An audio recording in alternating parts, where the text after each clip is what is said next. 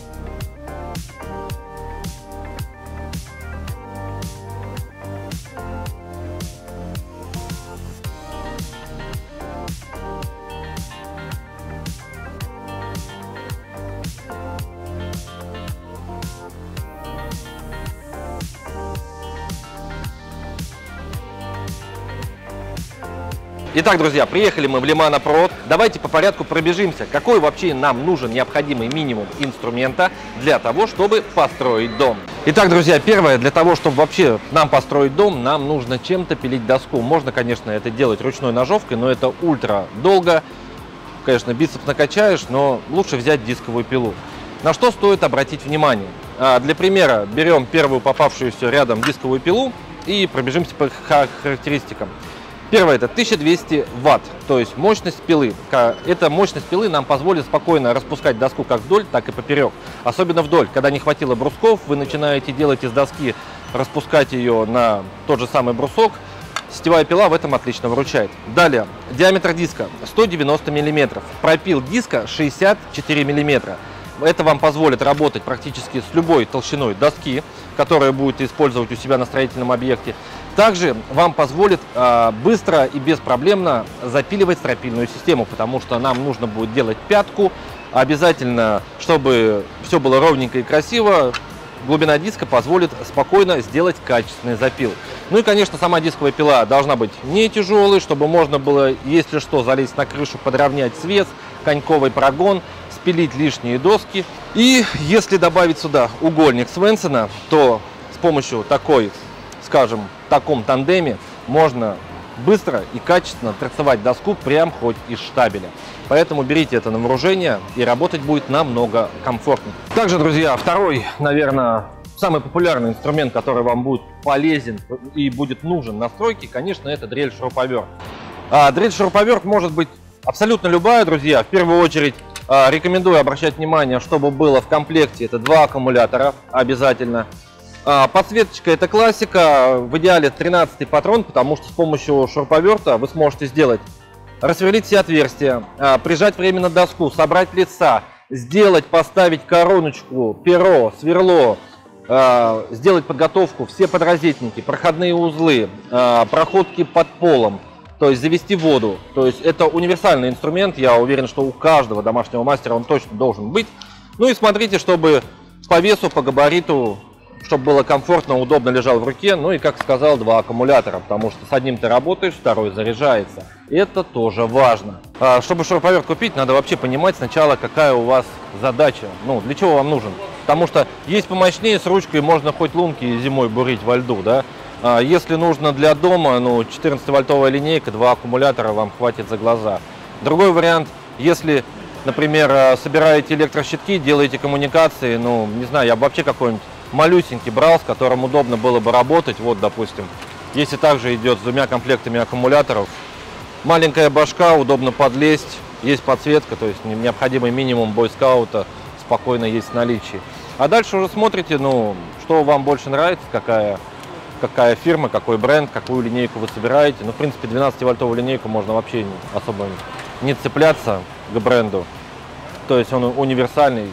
Любую полку, мебель кухню собирай спокойно налегке. Так, друзья, ну и, конечно, третий вариант инструмента, который должен быть у каждого домашнего мастера это угловая шлифовальная машинка.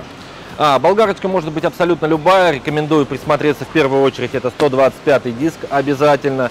А, желательно с регулировкой оборотов, ну и, конечно, сетевая, потому что ушм настройки – это реально крутой универсальный инструмент. А, любые планки, доборы, сетки, капельники, торцевые, что-то подрезать, подогнуть. Если есть регулировка оборотов, то вы сразу можете понизить обороты, поставить насадочку под дерево, снять любую фасочку, сделать закругление. Поэтому без такого помощника не обойтись.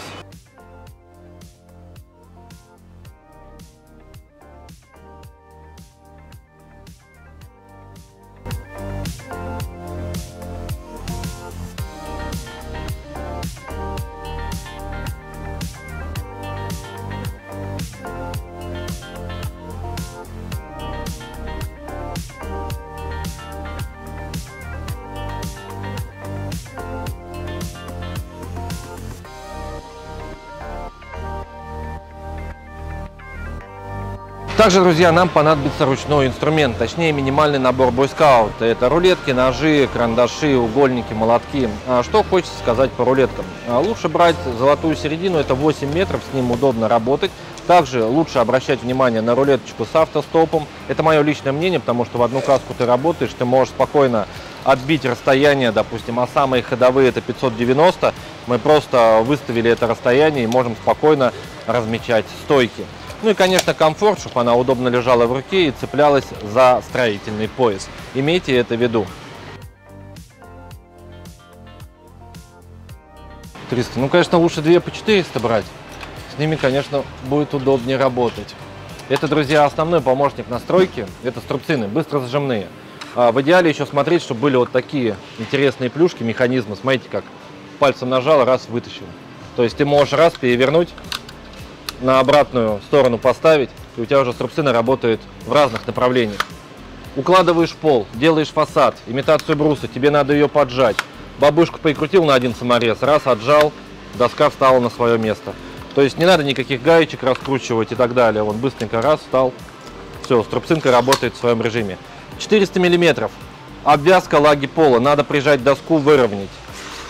За, взял, зажал. Далее укладываешь шлаги, делаешь стропилку, доска винтом. Ты не можешь ее вытянуть, выкрутить.